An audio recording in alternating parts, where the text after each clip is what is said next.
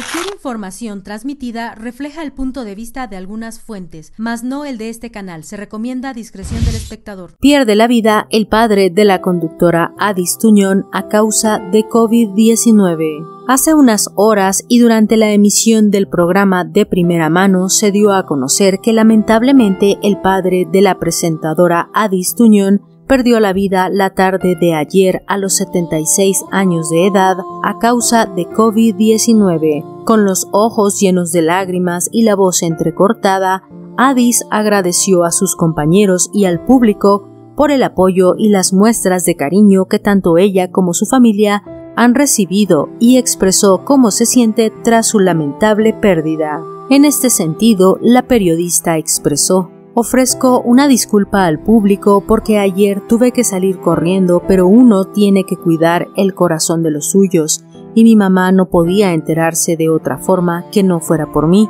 dijo visiblemente afectada.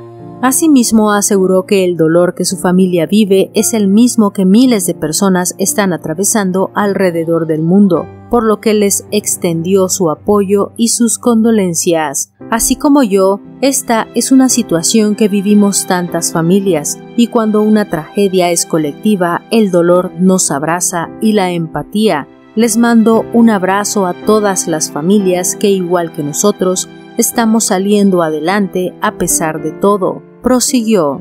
Más adelante, a través de sus redes sociales, Adis Tuñón dedicó un emotivo mensaje a la memoria de su padre, a quien describió como un hombre bueno y noble. Don Samuel Tuñón siempre fue un hombre guapo, noble y bueno. Te honro siguiendo adelante. El COVID nos lo arrebató ayer a las 3.10 de la tarde. Comprendo que habemos tantas familias viviendo esta pesadilla, escribió la periodista. Tras darse a conocer la lamentable noticia, tanto sus compañeros como sus seguidores en redes sociales le externaron sus condolencias, además de enviar mensajes de cariño a la periodista tras la lamentable muerte de su papá.